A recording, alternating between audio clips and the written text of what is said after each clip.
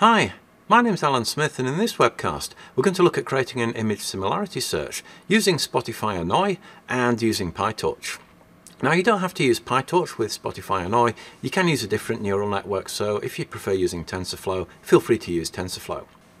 So Spotify Annoy is available on GitHub and Annoy is actually an acronym for Approximate Nearest Neighbor Oh Yeah but as it was developed by Spotify, the correct pronunciation is probably approximate nearest neighbour. Oh, yeah. It's basically a C++ library that provides Python bindings that makes it really easy to consume uh, from a Python project.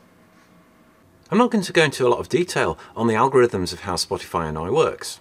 But If you want to understand more about it, there's this fantastic YouTube video here, Approximate Nearest Neighbours and Vector Models, Introduction to Annoy, which is a presentation by Erik Bernhardsson, who actually developed Annoy when he was working at Spotify. And you can see in the example, he's using it to be able to identify nearest food pictures. Annoy is available on GitHub if you do want to download the source code, but it's very easy to install in Python just by using pip. So basically the theory of what I'm going to be doing in this webcast is I'm going to be working with a pre-trained network in PyTorch, and the network I'm going to be using is ResNet 18, which is a convolutional neural network. So in a convolutional network, or CNN, you have these different convolution layers that do things like edge detection, shape detection, and finally, as you get towards the end of the network, you've got the feature detection. Now normally if you're doing image classification, you take the output of the feature detection layer and you feed it into a linear or fully connected layer, and that comes out with the actual predictions. Here I've got an example with just two classifications of a cat and a dog. So if we can remove that final linear layer, the fully connected layer, what we'll get out from the network is actual floating point values for the actual features. I've only indicated a few in this particular image, but with ResNet 18 we'll have 512 of these feature vectors. And it's these feature vectors that are used by Spotify Annoy to do the nearest neighbour search. So the process of building an index we take a folder of images, we feed that through the modified convolutional neural network, which is already trained with existing weights, and that's going to give us out our feature vectors. We then feed those into an Annoy index, and once we've done that with a few thousand images, we can save the index as a file. We can then use this index to find similar images by loading up the index file, taking the source image and passing it through the same network to identify the feature vectors, and then feeding those feature vectors into Annoy to find the nearest neighbours. what we'll get as an output is a list of images that have similar features to the input image. So hopefully those images should look similar to the source image. Okay, so Google has the option to search for similar images. Uh, I'm in Google Image Search here. If I click on this camera icon, then I can upload a file. And what I'm working here is the uh, pets images dataset within the dogs section I can select this dog. And Google's basically telling me this is a Labrador Retriever. And you can see that it's found similar images, um, you know, similar photos of uh, a dog uh, that looks fairly similar to the dog that I uploaded, but also in the same position. You can see that uh, quite a few of them have also got a grass uh, background with them. So what I'm going to do is see how we can build our own image similarity search. We're going to be using PyTorch and we're going to be using Spotify Annoy, which is a nearest neighbor search algorithm. So within Visual Studio, I'm going to create a new project. I'm going to select Python application. And I'll call the project Spotify Annoy Similar Image Search. Okay, so I'm going to set up my Python environments here. Here I've got an environment of Python 3.7. What I'm going to do is to add a new environment that I'm going to use uh, to install PyTorch and also to install Spotify Annoy. So I'm going to give this a name of Annoy Demo Env. Python 3.7 should be fine. I'm going to make this environment available globally and I'm going to drop it in the Python environments folder. Okay, so that's created my environment for me. I'm going to open a command prompt and I'm going to install uh, the various pip packages. So you can see what we've got installed by default. I'm going to need to install Torch. Because we're going to be using a PyTorch pre-trained network to be able to analyze images and generate the features that are going to go into Spotify Annoy. I don't need to set up the GPU and CUDA. Uh, most of the workload here is going to be loading the file and um, there's not going to be that much work in actually classifying the image or detecting the features using the network. So you don't need a GPU uh, to uh, run through this. It takes quite a while for the Torch install to complete, so I'm going to pause the recording whilst this is running. Okay, that went fine. I'm getting a message that I can upgrade pip uh, if I want to. I'm going to skip that. I'm also going to need Torch Vision uh, because that's where the um, pre-trained models are located and we're going to be working with images. So we can see here that we've got the relevant components installed. I'm going to be working with images and Pillow is already installed, so that's fine. I don't need to do that as a separate install. But I will need to install Annoy and that went fairly, fairly quickly. You may well get problems with this. You will need to have the C compiler installed. So if you do see any errors uh, coming up here, it's maybe re related to not having the uh, C compiler installed correctly. So hopefully I've got all the pip packages there that I need. Okay, so I'm going to rename this file to 01 build Annoy index. So what we're going to do is we're going to scan through some images. Uh, we're going to create the Spotify Annoy index and we're going to save it down. And then we can have another uh, process or another script file that's going to load that index uh, and then do the image uh, searching. Um, so it's good to be able to create the index and, and save it out as a file as a separate step. Okay, so I'm going to need to have an images folder that I'm going to be working with. And I'm going to be using um, the dog images from this cats versus dogs dataset. I've included a link uh, to this dataset in the, uh, the description. So what this contains in the pet images folder, we've got cats and dogs, and in the dogs folder, we've got um, thousands and thousands of images of dogs.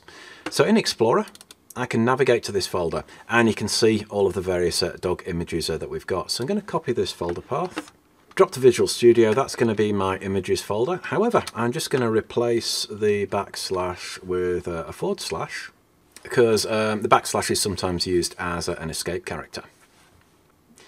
So the first thing I'm going to need to do is to get a list of all of the images in that folder. So I'm importing OS and the images is going to be os.listdir and then specify that image folder. So for each of these images, uh, we want to pass the image through a pre-trained network that's hopefully going to be able to detect the relevant features in the dog images. So from Torch Vision, I'm going to import models and transforms, and I'm also going to import Torch. So we're going to be using uh, the ResNet 18 network, which is um, a fairly simple uh, image classification network. So what I'm going to do is to define the weights is equal to models.resnet18 weights. Then I'm selecting ImageNet 1K version 1. I can then create my model. So I'll define that as being models.resnet18 and uh, select the appropriate weights. So we're going to need to transform the image before it goes into the neural network. So I'm generating a new transform and I'm going to specify that we're going to resize the image to 224 by 224 pixels and then transform that to a torch tensor. I can also specify models.eval and that's going to put the model into the detection state rather than the training state. Now if we're going to use Spotify Annoy for nearest neighbour identification based on the features that are being detected in the image, we want to know that the neural network is picking out appropriate features. So I'm going to run a quick test on this um, just to see what type of predictions it's making with the dogs that we've got within our folder. So I'm going to iterate through all of the images that we've got in that folder. I'm going to need to import image from uh, Pillow because we're going to be loading the images. And I'm going to open the image by joining the images folder and the name of that image file. So the image will be in bitmap format, so we need to use the transform that we've created to be able to transform that image into an input tensor. So some of the images uh, didn't have uh, three channels, red, green, blue. Uh, they maybe had a transparency channel, or maybe they were, they were grayscale images. I'm basically going to skip those and only take images that are RGB images. Uh, so that's uh, where the input tensor size on the uh, dimension 1 is equal to 3. And if that is the case, we'll send the input tensor through the model, and that will give us the output tensor.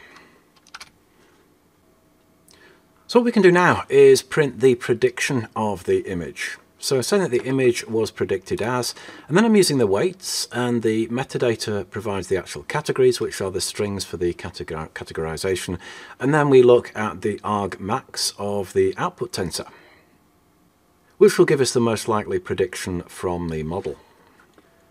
So I'll just add this input here uh, to block the thread of execution, uh, so we can go through the images one by one. So let's see what that neural network thinks of these dogs. So 0.jpg was predicted as a Scottish Deerhound. 1.jpg was a Chesapeake Bay Retriever. 10 was predicted as a Walker Hound. And 100 was predicted as a Labrador Retriever. Now I'm not a real expert on dog breeds, uh, but you can see as we're going through all of these images, you can see that it's not just saying that this image is a dog, it's actually coming out with the breed of dog, with a few exceptions here. So this basically tells us um, that the neural network is very good at being able to predict the breeds of dogs, which means that the features in the final convolution layer of this network are going to be uh, features uh, that are going to allow us to distinguish between different types of dogs, and hopefully also be able to identify similar dogs.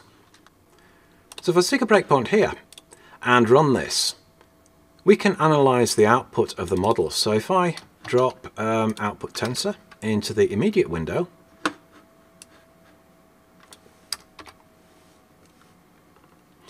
we can see the details of this tensor. Uh, you can see that there's a whole bunch of floating point numbers that we've got here. And the actual shape of this is 1 by 1000. And there's basically a thousand different uh, classes uh, that this model can uh, predict against. So if I drop in the weights metadata categories, drop that into the immediate window, you can see that we've got um, basically a thousand of these actual uh, items present in the actual uh, string categories. So these are all of the things that the model can uh, predict. Now what I want to do is instead of getting the actual predictions, I want to get the actual features uh, that the network is using uh, to make those predictions. And in order to do that, we need to modify the model slightly. So what I can do here, after we've created the model,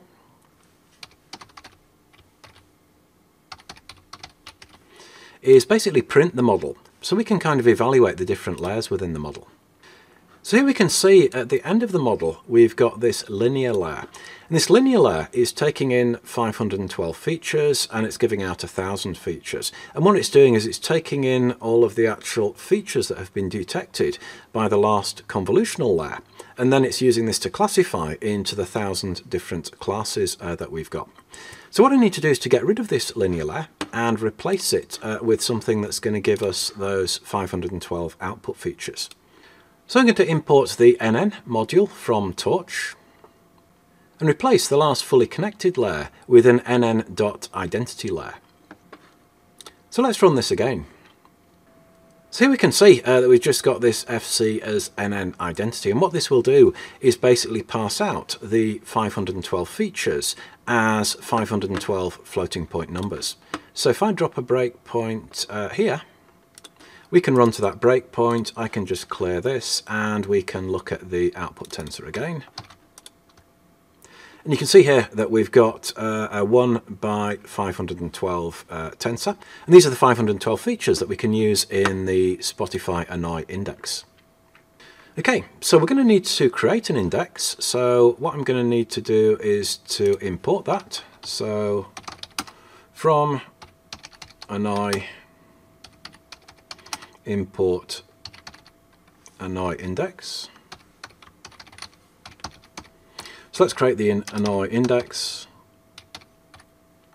It's going to be equal to Annoy index. And we can specify the number of inputs or the number of features that we're going to use in this. That's going to be 512. That needs to match the number uh, that we've got from the network. Then also the method uh, that we're going to use for finding the nearest neighbour. And I'm going to call that angular. Okay. Now, when we get down here, uh, the output tensor, we're no longer going to be using this to create a prediction. What we're going to be doing is adding the output tensor to the annoy index. So I can take annoy index dot, uh, and then we've got the add item.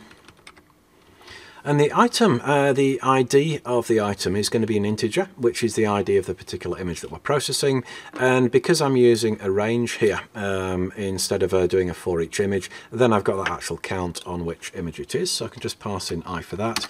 And then the output tensor, what I'm going to do is to drop in the output tensor. However, because of the model can process multiple images, I'm just going to use the um, zero index on that output tensor, which will be the first uh, output. We've only got one output anyway, um, so that should uh, should work fine.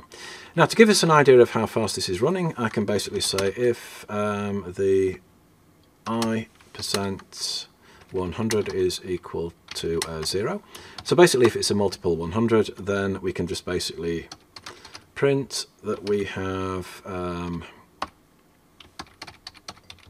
processed however many images And then uh, once we've uh, run through and added all of those to the index, we will need to build the index. So I can specify annoy index.build and we specify the number of trees uh, that we are going to be uh, creating. I'm going to use the value of 10. Um, I've not really experimented that much with different uh, different values. For more complex predictions, you may want to increase that. That will increase the um, detection time and also the size of the model. So you maybe want to experiment uh, with different uh, models. And then we can save the index. And I'm going to save it as dog index.ann not sure if that's the official um, extension for annoy indexes, but I'll use it anyway. Okay, so let's build this index. So it's going to take uh, quite a while uh, to run through these.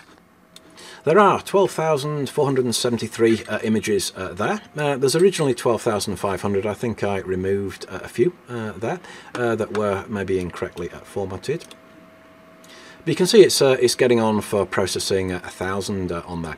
As I mentioned, I'm not using a GPU. A GPU would make, maybe make it a bit faster in actually doing the um, obtaining the features, running the neural network. However, there's so much file operations taking place here, reading the images, that uh, it probably won't make that much difference uh, using a GPU. Basically means if you don't have a big GPU at home, you can just run through this on the CPU and it will still work fine. Okay, so we can see that that completed. Um, probably took about five or ten minutes uh, for that to run. didn't take too long. Now if I open that in the File Explorer, you can see that we've got the dog index.ann. You can see it's about 26 megabytes, so it's a pretty compact uh, file uh, that we've got there when you think about you know the weights of neural networks and, uh, and things like that. So what we can do now is we can use this index uh, to be able to find similar dog images within that dog uh, dataset. Okay, so I'm going to add a new Python module, 02, um, find similar images, uh, let's drop that on, and I can reuse some stuff that we've got from the first module. So I'm going to need to import OS, PIL, Torch, Torch Vision, pretty much all of this stuff I think. Um, so let's basically copy this across, Um, I'm also going to need to define the image folder and get a list of these images. So I'm going to use the same images uh, for actually uh, testing this. And we're also going to need to create the same model uh, to use for analysing these images. So I'm going to select um, this chunk here. We don't really need to print the model, but we do need to do model.eval and specify the actual transforms. So let's copy this across. Okay, so working with the index, what I need to do is to basically create the same index. And what I can do now is basically load the one that I created in the previous script.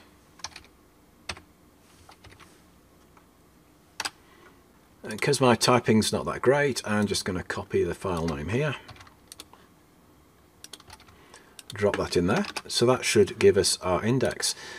So I'm going to generate an image grid uh, for displaying these images. So this is going to be uh, using PIL image.new uh, and I'm going to specify this is going to be a RGB image and it's going to be a thousand by a thousand And I use that uh, to basically generate a grid uh, and display these, these various images. So what we can do is basically iterate through the images, load the images, get the input tensor. Um, if the input tensor um, size dimension 1 is equal to 3, then we get the output tensor here. So all of this code is going to be the same. So let's copy this across here. Then what we want to do uh, with our output tensor is actually use this to search within the images. So what I need to find is the nearest neighbours is going to be equal to, and then we're going to take an i index dot, and then we've got this get nearest neighbours by vector. And what we're going to do is pass in um, the output tensor Again, uh, we want to take the zero item from that. Then we want to specify how many uh, items we are going to bring back. Uh, I'm going to have a grid of 25 images, and the first one is going to be the original image, so I'm going to bring back uh, 24 of these images there. And that will hopefully give us uh, the list of nearest neighbours. So that will give us the 24 images that have the most similar features to the features of the image that we sent through the network. I'll speed up the coding here. What I'm going to do is to resize the original image to 200 by 200. I'm going to import the image draw in Pillow.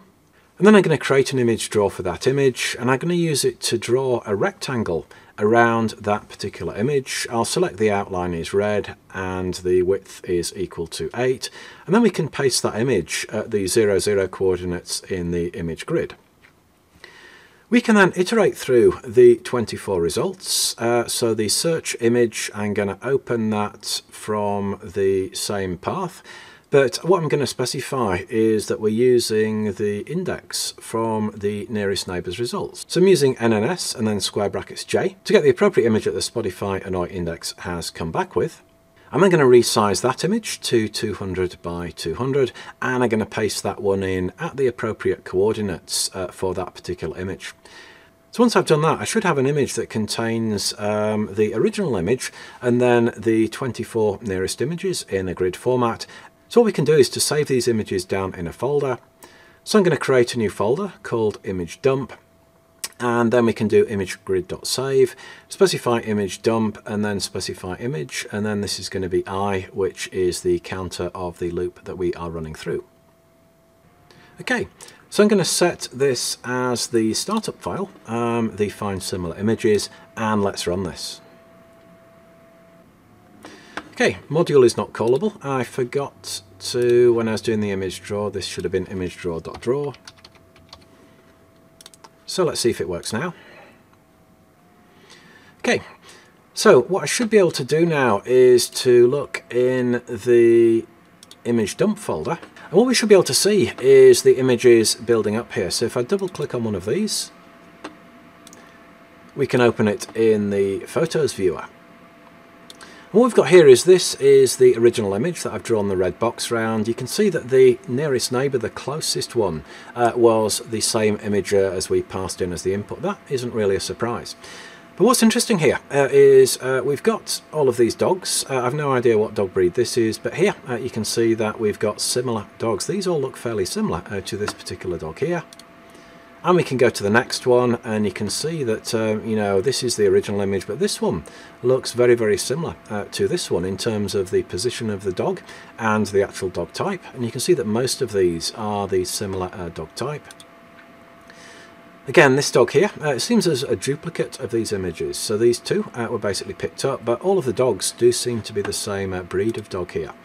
And as we go through these images, uh, we can see uh, that we do have, uh, you know, similar uh, dogs coming up in these uh, particular images there. This one, interestingly, has a kind of nature background. There's some grass there, and the ones that it's picked up, quite a lot of those do have uh, grass in the background.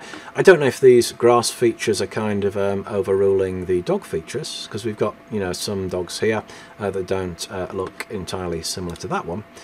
But with the Dalmatians, it's doing a pretty good job uh, in picking up uh, different uh, Dalmatians. This dog uh, is some kind of a uh, crossbreed for a, a, Dalmatian. You can see it's got larger spots there, but most of these uh, do look very similar to the input image. So this image search is doing a fantastic job of being able to detect similar dogs in this cats and dogs dataset. This is interesting. This dog here uh, is behind a mesh fence and you can see that all of these similar uh, images that have come back are also uh, behind a mesh fence there. Same with this uh, this one here. So you can see the mesh fence uh, is being identified as a significant feature when it's looking for these similar uh, images here.